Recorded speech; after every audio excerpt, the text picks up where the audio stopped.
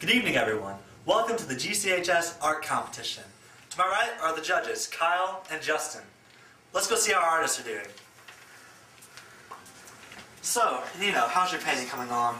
It's dark and demonic, just like I hope it to be. Like the world outside, it's disgusting.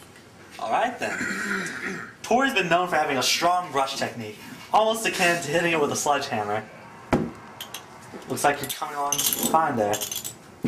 Casey, you should have some magnificent glasses. Aren't you worried the competition might see your painting in the reflection? Oh, absolutely not. I, I have the best hand, and I am ready to bluff my way to the end of this tournament, and I will win. Alright. Dylan's been a strong favorite. I am number one. I'm going to win this tournament. Just right there. As I was saying, Dylan's been a strong favorite in previous art competitions. How do you feel about your painting for this one? Um, I believe my my work will speak for itself. No need, no words are needed. All right, there's our four artists. Let's give them some time to work, and we'll be back soon.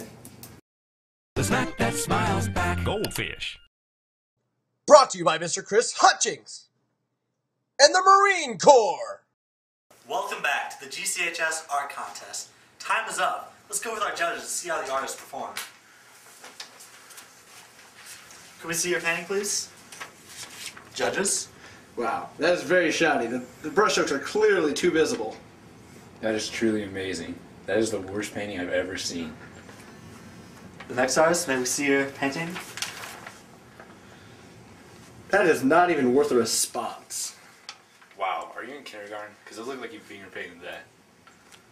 She did. my turn. Let's see how Casey did. Number one, baby. Judges?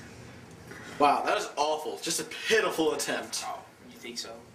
We called your bluff. You lose. No.